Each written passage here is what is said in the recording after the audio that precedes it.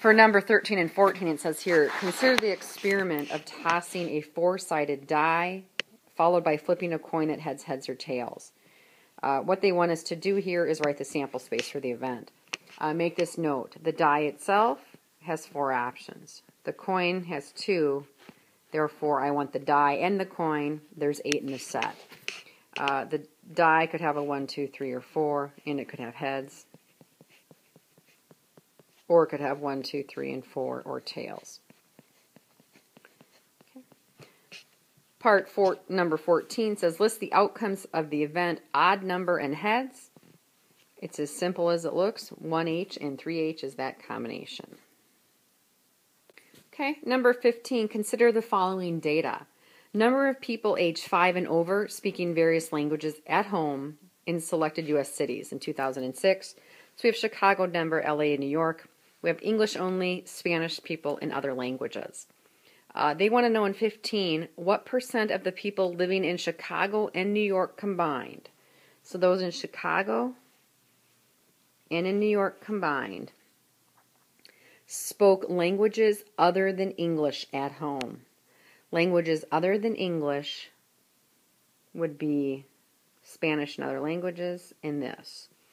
Uh, so what we want to do is total up what is in the green circles, and that's going to be a total of 10,177 people.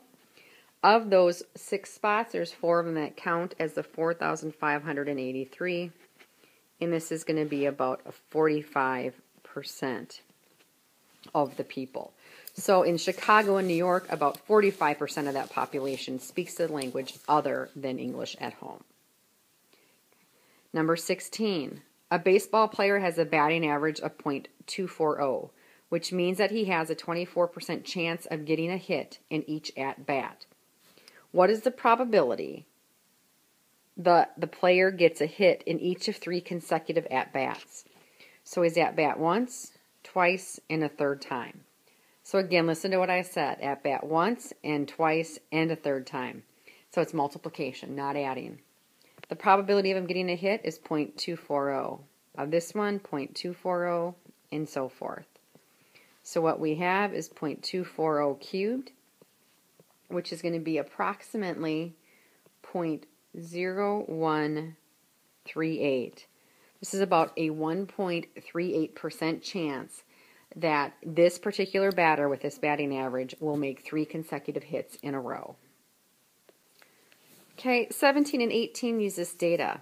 A particular location has a 16% chance of snow on any January day, regardless of whether or not it snowed the previous day. 17. What is the probability of two consecutive days with snow?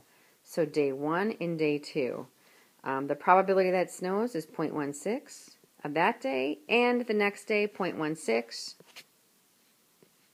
um, so if you do 0.16 squared, you are going to get approximately 0.0256, which is about a 2.56% chance that it is going to snow in this town two days in a row. Okay, switching gears on 18. What is the probability two consecutive days without snow? Okay, day one and day two. Without snow is its complement. So it either snows or doesn't snow. So without snow would be an 84% chance. Without snow, an 84% chance. This is going to give us approximately 0.7056. So we have about a 70.56% chance we have two consecutive days without any snow. Okay, um, let's move on to number uh, 19 and 20. Okay, number 19. Caden is hanging seven pictures on a wall in a single row. How many different ways can Caden hang the pictures? He has picture one, two, three, four, five, six, seven. He looks behind him and he has seven pictures. He has seven choices. He hangs one up. There's only six left. Five, four, three, two, one. This is seven factorial. And 7 factorial is going to be 5,040 different ways. Number 20. How many different ways can Caden hang the picture if a certain picture must be in the middle? Okay, we have the seven pictures. A certain picture must be in the middle. I don't know which one it is. There's going to be one way to put it, however they tell me, however they want it. That leads me with six choices here. Five, four, three, two, one.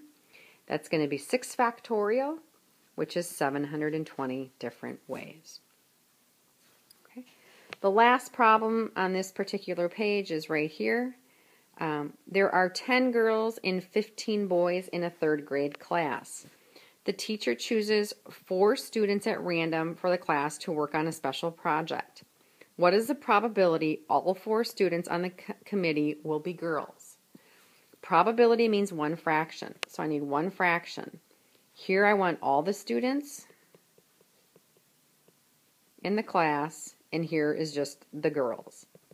Now keep in mind he's only choosing four students and four girls. So he's choosing four students out of a class of 25. So it's 25, 24, 23, 22.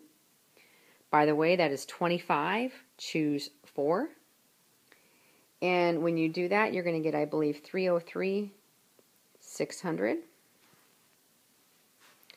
In choosing the girls, on the top, he's going to choose a girl. There's only 10 girls, so he has 10, 9, 8, 7 choices for that, which is going to be 5040.